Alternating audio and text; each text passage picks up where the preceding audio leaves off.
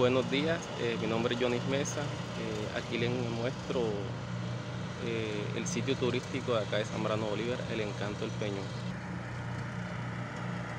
Como pueden ver, es un sitio que queda a la orilla del río Magdalena.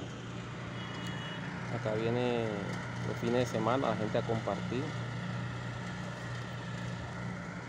En estos momentos la estatua que estaba de la princesa Rayo de Luz eh, le hicieron actos vandálicos y la, la deterioraron, la quitaron de ahí de, del sitio donde estaba. Pero como se pueden dar cuenta, es un sitio acogedor a orilla del río Magdalena.